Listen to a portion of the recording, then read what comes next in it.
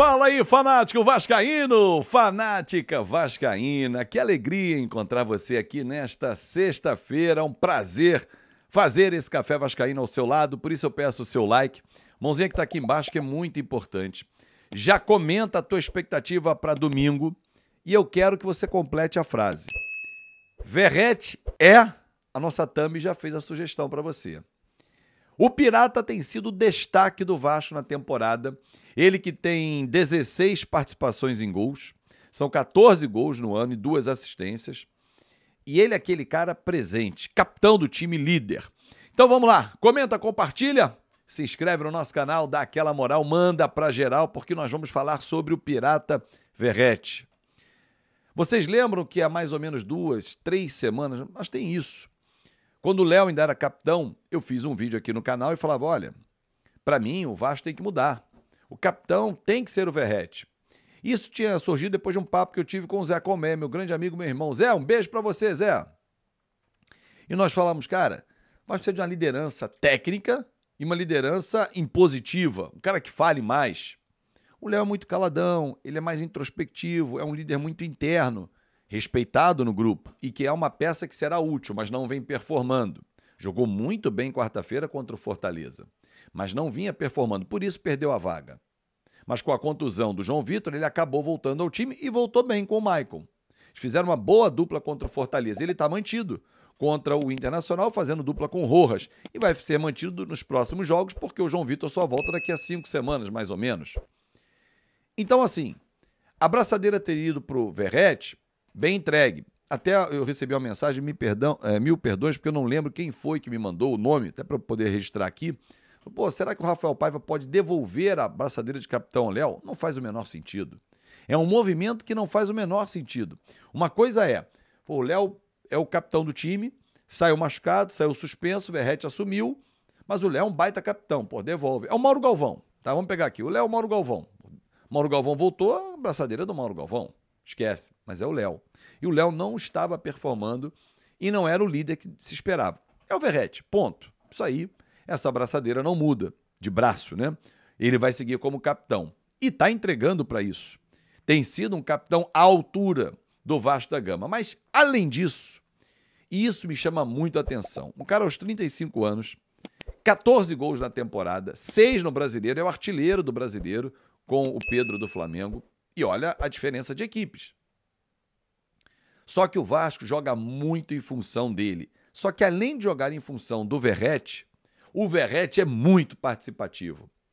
Quantas e quantas vezes, ao longo da partida, o cara de 35 anos vem aqui atrás, ajuda na marcação, pressiona, tá sempre presente no escanteio, tá brigando, puxa contra-ataque e tá dentro da área e sempre bem posicionado.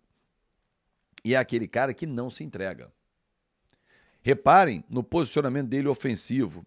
Os zagueiros estão agarrando. O próprio gol contra o Fortaleza é isso. O Emanuel Brito está agarrando ele e tal, não sei o quê. E ele pô, se desvencilha e pá, de cabeça, marca o gol. O segundo gol do Vasco. Isso é um centroavante. Isso é um camisa 9. Apesar dele usar 99. Mas ele sabe, ele conhece daquele retângulo ali chamado grande área. Ele sabe se posicionar. Ele é bom no jogo aéreo. Por baixo, não tem a habilidade de outros grandes centroavantes que nós vimos no Vasco da Gama. Mas eu vou fazer uma comparação aqui e, e vamos guardar as devidas proporções, mas para que o torcedor possa entender. Roberto Dinamite era um cara explosivo, participativo, brigava com os zagueiros. Pablo Verrete é assim. Não estou comparando Roberto ou Pablo Verrete para o ímpar? Não estou, porque nem tem comparação. Duvido que o Verrete também se compararia. Mas, na forma, na entrega dentro do jogo, naquela coisa de perturbar o zagueiro adversário, o Verrete faz igualzinho o Roberto Dinamite fazia. Como os grandes centroavantes. Luizão era assim também. Mais técnico, mas era assim. É só pegar a Libertadores de 98, torcedor. Como ele era aquele fuçador, aquele brigador, não se entregava e pô, saía na porrada, rolava, voltava. É o Verrete. Isso é jogador. Não aquele que toma pancada e. Não. O cara que não se entrega, que luta. E que, ó, sua nossa camisa. Porque você, torcedor, se sente representado quando olha esse cara em campo. Esse cara representa você em campo. O Edmundo era, era exatamente o exemplo. Porra, saía na porrada com os jogadores mais fortes, ia para cima, tomava porrada, fazia gol, zoava, tirava onda, voltava pro jogo, tomava pancada, enfaixado, sangue. Esse é o jogador de futebol. Não é aquele que vai lá, não, posso sujar minha camisa, peraí, a golinha aqui, o cabelinho tá na régua. Ah, para! Para com isso. E o Verrete é um representante do torcedor em campo. Qual é a sua definição sobre o Verrete? O Verrete é, eu quero ler aqui a sua opinião. Antes de seguir com o vídeo, quero fazer um convite especial a você. Nós estamos crescendo o canal, graças a vocês. É, eu quero bater 200 mil amigos até o meu aniversário, 22 de setembro. Vamos botar essa data como um limite para a gente chegar lá. Falta bem pouco. E eu vou presentear vocês. Eu tô com uma linha de produtos do nosso canal à disposição para a galera que quer ter o Fanático Vascaíno. Hora do café aí, ó. Canequinha do Fanático Vascaíno. Temos os bonés, temos boinas também aqui. Ah, mas era o Álvaro que usava. Boina é um símbolo português. Tem casaco, tem camisa do canal. Graças a Deus o canal está crescendo, graças à ajuda de vocês, a fidelidade que eu tenho com você, torcedor vascaíno. Muito obrigado pelo carinho. Ah, mas o fulano fala mal. Pô, eu não me preocupo com o fulano que fala mal. Eu vou me preocupar se você que fala bem me abandonar. Porque eu quero você ao meu lado, torcedor. Por quê?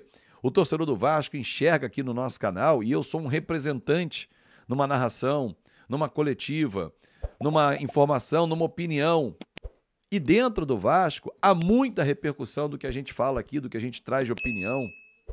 E esse jogo a gente está ganhando. Sabe por quê? Porque tem um trabalho honesto, olhando no seu olho, de uma pessoa de 25 anos de estrada, que não virou Vasco agora. São 47 anos que vão ser completados no dia 22 de setembro. Então, torcedor, tenho o maior prazer de ter esse canal e falar com você. E para aqueles que ainda pensam bobagens, hoje eu estou na Flash Score, que é um dos maiores sites do mundo, de estatística é o maior, e faço narrações para eles em áudio. Principais jogos do Campeonato Brasileiro, Libertadores, Sul-Americana, eliminatórias. Sou colunista da Rádio JBFM Cidade, onde tem uma coluna de segunda a sexta-feira.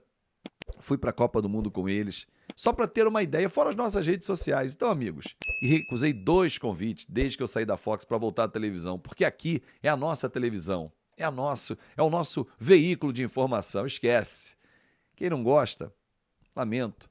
Faça o seu trabalho. Sucesso para você, mas não inveja o outro, não.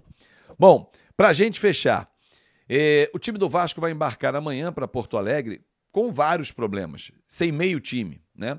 Michael, falamos ontem sobre isso aqui, o quebra-cabeça, né? Lucas Piton, que é o líder de assistências do Vasco, está muito bem, voltou a jogar bem na temporada. Hugo Moura, que estava muito bem também. É, David e Paia. Cinco jogadores. Como é que o Vasco não vai cair de rendimento sem esses cinco jogadores? Pô, se trouxer o um empate lá, tá de bom tamanho. É de bom tamanho, mas dá para vencer. Só que Rafael Paiva, de forma inteligente, vai fechar o Vasco de novo. Vai botar ali dois jogadores de contenção para proteger os nossos zagueiros. E eu tenho certeza que domingo vai ser um outro grande jogo. E depois vamos pegar o Corinthians aqui. Dar uma pancada no Corinthians que a gente não ganha um tempão. Pra gente poder, ó, desgarrar esse bloco ali de baixo. Tem que olhar pra Sul-Americana. Porque eu vejo o Vasco com potencial para chegar à Sul-Americana. Só vou trazer uma informação aqui para você lembrar, torcedor. No ano passado, até a 16 rodada, quando o Ramon Dias chegou, o Vasco tinha 9 pontos. Nós estamos na 15 rodada. Então, 14 jogos já passaram. Vasco tem 14 pontos. Os números são ruins? Não são bons ainda. Mas ruins eles eram no ano passado. Emplaca duas vitórias. Vai na 16 rodada com mais 20 pontos. Olha a comparação. Mais do que o dobro do ano passado. Esse time tinha ou não tinha capacidade para render mais? Tá aí, tá sendo provado com o Rafael Paiva, o que eu sempre disse. Esse time podia entregar mais. Não é o time dos sonhos. O time dos sonhos estava aqui, ó. Que nós vimos, quem é mais velho. Década de 80, 90. Mas esse time do Vasco tem potencial para entregar mais. E nas mãos do Rafael Paiva está entregando. Concorda? Um grande abraço, muito obrigado pelo seu carinho. Hoje, uma da tarde, eu conto com você com o nosso programa Na Conta KTO. Eu, Rei Kraus e você participando com a gente, claro. Vai ser muito legal. E chegou até o final do vídeo aqui? Então escreve na conta. Tamo junto. Um grande abraço e até mais tarde. Estará com a gente ao vivo e muito, mas vai ser agora homem de lá, mexendo o vestiário do baixo?